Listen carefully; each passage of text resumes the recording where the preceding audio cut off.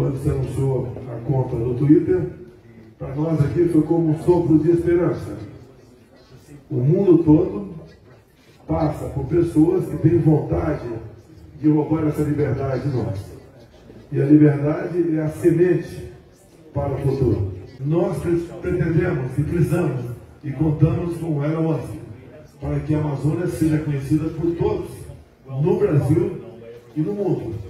Mostrar a exuberância dessa região, como ela é preservada por nós e quanto malefício causa para nós aqueles que difundem mentiras sobre essa região.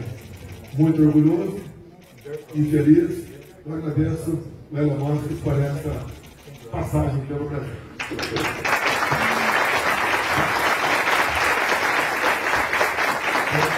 Thank you very much.